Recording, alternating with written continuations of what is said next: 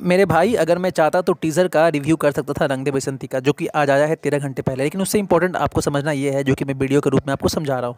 देखिए, मैंने टाइप किया है खेसारी लाल यादव। चलिए, मैं आपको इंट्रोडक्शन मेरा नाम दयाशंकर ओझा है। आप देख रहे हैं टेक टू भोजपुरी इससे भी इंपॉर्टेंट ये है कि वीडियो को देखना। देखिए, मैंने खेसारी लाल टाइप किया, खेसारी म्यूज़िक वर्ल्ड खोला।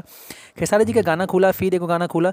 फिर उसके बाद पाँच छः नंबर पर आ रही है रंग दे बसंती का टीज़र आखिर क्यों? क्योंकि इस पर ढंग से एस नहीं किया गया है। मतलब कि खेसारी लाल को इस, जो कि हमेशा खेसारी लाल टाइप करने से, खेसारी लाल जी का जो भी पहला प्रोजेक्ट रहता था पहले आता था।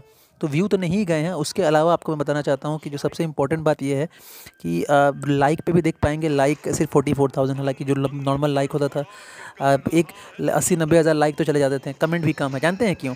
क्योंकि मैनेजमेंट की भी कमी है। ना तो खेसारी जी ने एक बार लाइव आके कहा।